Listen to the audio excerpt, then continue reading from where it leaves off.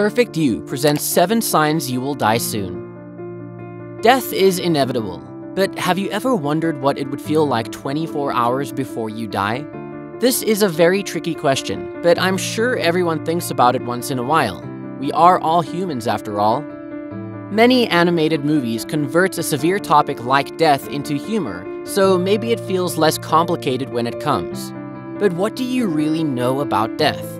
Well, without further ado, let's dig into 7 signs you will die soon. You know, death is never easy. Each person's journey is unique, and each survivor's healing process is unique too. Whether you're a caregiver looking after a dying loved one, or a person who knows your time on Earth is coming to an end because of illness or age, learning what to expect as a natural death nears can help you be better prepared. It can also give you time to make decisions for comfort and relief. Number 1. Sleeping more.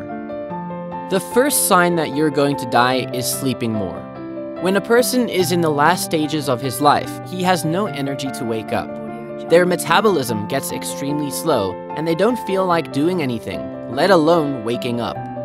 Many factors can play a role in this. If they are an old person, they might be on the verge of dying, and this would be the most prominent sign. They will always be fatigued, annoyed, and not even able to walk. In the final days before their demise, their muscles can become extremely weak, which will not allow them to get up from their bed. The weakening of muscles and not performing their day to day functions is a vital sign that you or your loved one is about to take his or her final breaths. Number 2. Changing vital signs in the body. Our body has some vital organs which have to be healthy for us to function properly and be alive. When death is near, major organs like your heart or your kidney will stop performing at a normal pace. This might result in you having low blood pressure and irregular heartbeats that are hard to detect. It will also affect the color of your urine, which may turn tan or brown colored, and you might feel pain in places you didn't know existed. This will also affect the functions in the body which eliminate wastes, which will in turn result in a loss of appetites. A poor appetite will lead to smaller and irregular bowel movements. After eating and drinking stop completely, they might not use the restroom at all. People who are near death may not even be interested in eating or drinking their favorite foods. Blood circulation draws inward toward your vital organs in the final days. That means blood circulation in places like your hands, feet, and legs is greatly reduced. That can lead to skin and limbs that feel cool to the touch. The skin may appear pale too. Eventually, the reduced circulation may cause the skin to take on a mottled blue-purple look. You can now check for these signs in you or your loved one's body and know if the clock is ticking or not. Number 3. Withdrawing from people. When people are experiencing near death symptoms, they tend to isolate themselves from other people. Deep down, they have this feeling that they are soon going to cross over to the next phase, and therefore, they prefer protecting their energy in their last hours. You may notice that the conversations are getting fewer each day, and the responses are very limited. It is very common for people to not see their friends and family for days before they are going to die. This can also connect to changes in their body before their death, as their muscles tend to grow very weak, which leaves them with no energy to socialize anymore. If a person is unable to get up from their bed, how will they have a normal conversation with anyone? Have you ever noticed this symptom in one of your loved ones who passed away? Let us know in the comment section below. Another possibility is that they might be confused. The brain remains active while they are dying, but it is very common in people to become confused about where they are and what they are doing. Some people may become restless or aggressive if they cannot figure out what they are doing. Number 4. Hallucinations. This takes us to our fourth sign, which is hallucinations, and is similar to the state of confusion that we talked about earlier.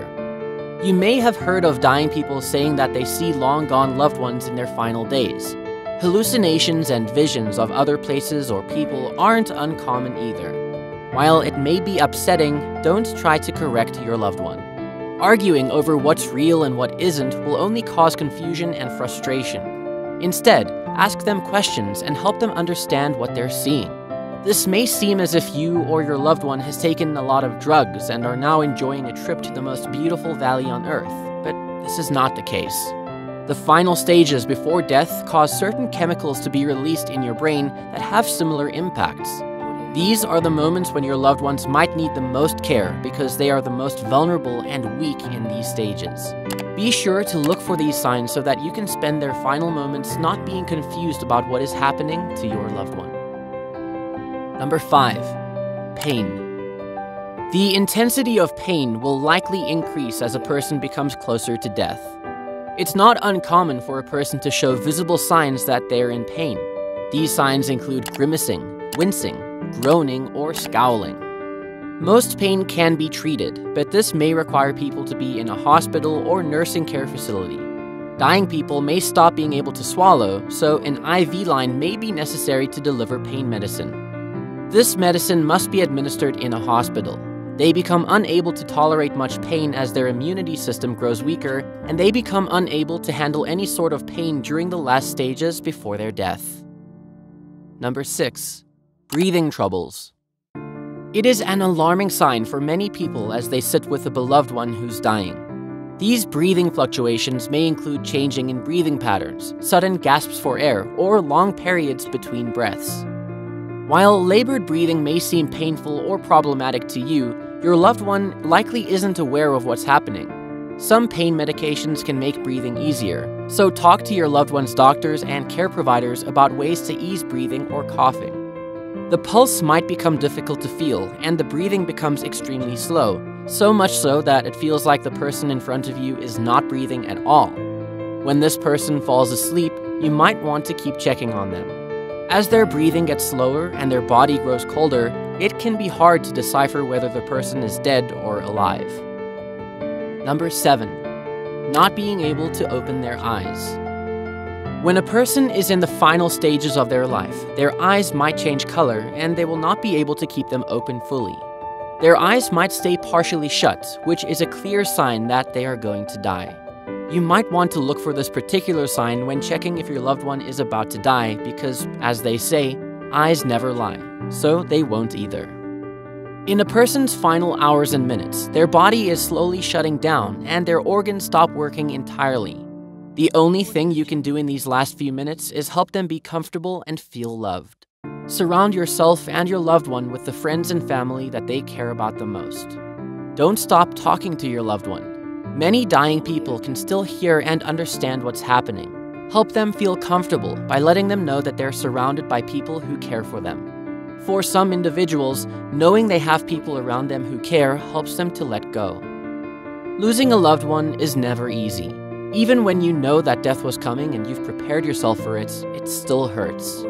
In the first days and weeks after a loved one's death, take your time to acknowledge, embrace, and experience each emotion. When you're ready, seek out a support group.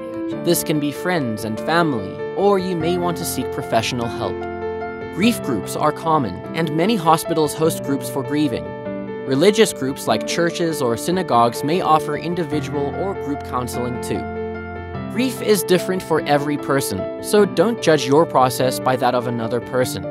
Find a group that feels comfortable and welcoming. Over time, you'll come to treasure the memories of your loved one and look forward to new memories with the people that you still have. If you liked this video, do not forget to like, share, and subscribe to our channel for more such content. Be sure to hit that bell icon so that you never miss out on our daily updates. Thanks for watching, and we'll see you in the next one.